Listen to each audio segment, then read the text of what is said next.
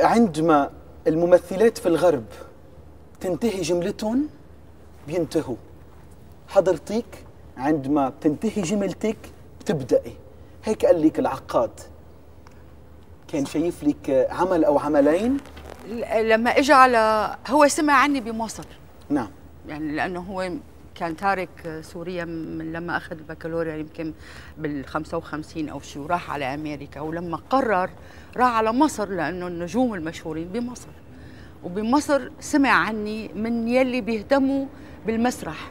يعني يلي إجوا حضرونا بمهرجان دمشق المسرحي وشافوني بال- بالمسرح بأعمال بالفصحى وملكة وإلى آخره.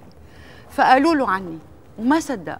فلما اجى على النقابة وأنا دقوا لي تليفون وقالوا لي في مخرج سينمائي جاي من هوليود ليشوفك ما صدقت.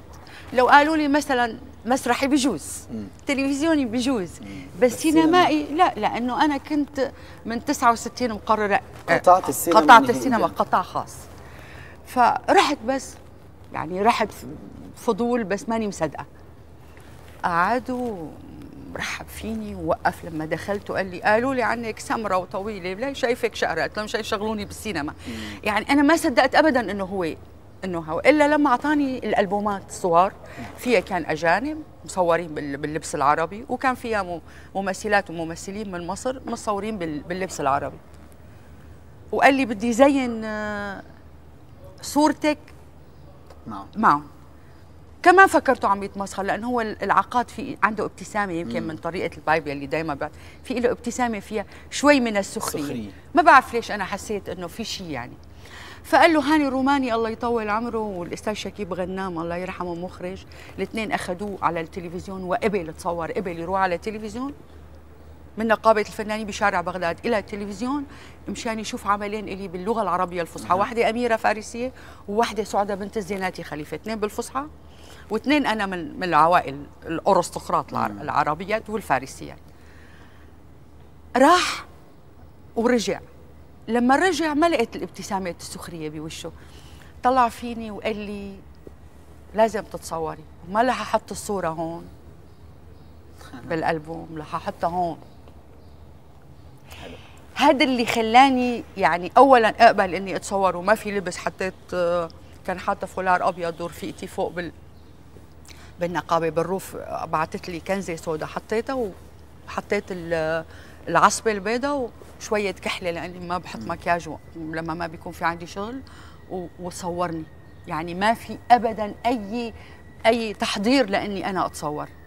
وقال لي من جملة الحديث قال لي أنا شفت ممثلات وممثلين بي- بينتهوا لما بتخلص الجملة. أنت بتبدي ولغة الصمت عندك آه، وحتى كاتبة يعني بكذا هذا. لغة الصمت عندك آه، شغلة عظيمة يعني شغلة مهمة كتير. وأنا حسيت هيك بفخر يعني لما لما قال لي قد. إيه لمس فيك الأنا؟ الأنا أيوة. كتير. يعني أنا لدرجة من كتر ما لامس فيني حتى ما عاد فرقت معي إنه مثلا لأني أنا لما قال لي وأعطاني كارت وقال لي بس روحي على المغرب لأن كنت آه، أعرض مسرحية حنا الاستسلام أيها الإسرائيلي بمهرجان المغرب. وأعطاني كارت إنه إذا وصلت على الرباط روح على مراكش وعلى هذا وأعطيهم كارت منه مشان نشوف المدينة اللي عم يبنوها مشان آه، تصوير فيلم الرسالة. آم،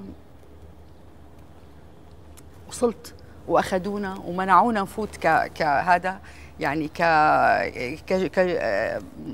آه، مشتركين بعروض مسرحية يعني كفنانين ما خلونا لأنه ما كانوا جايبين آه، من وزارة الثقافة عندهم ب- ب- بالمغرب مشان يدخلونا. أنا ما طلعت الكرت لأن حسيت إنه يمكن ما ياخذني وخصوصا إنه بالطيارة ما بعرف ما جبت المجلة معي. بالطيارة كان كاتب السيدة نضال اشقر وسهيل بابلي ومنى واصف يتنافسن على دور هند. فأنا ضبيتها بالحوادث كان وقت بتذكرها تمام. ضبيت المجلة وخليتها معي. اكتشفت قبل فترة إنه لساتني محافظه محافظة عليها. فما ما طلعت الكارت لأنه قلت لا راح. لما دقوا لي تليفون وقالوا لي وقلت ألو قالوا لي Mrs. جيلميران speaking ما حدا بيناديني جلميران يعني أنا منى واصف معروفة على اسم والدي تاني ما ما في يعني حدا. قلت لها يس. وقعدت حكت معي إنه بدنا إياكي وكذا ومدري شو تعي على بيروت في بناية الأمير الساعة 4 مشان تعملي العقد و... وتاخذي السيناريو وكذا. أنا سكرت التليفون وصرت أقرص حالي وعيط ع- عرفت؟ مت... يعني مثل الأفلام يعني. طبعا طبعا. هي الأنا. فرصة ذهبية. إيه هي الفرصه الذهبيه آه،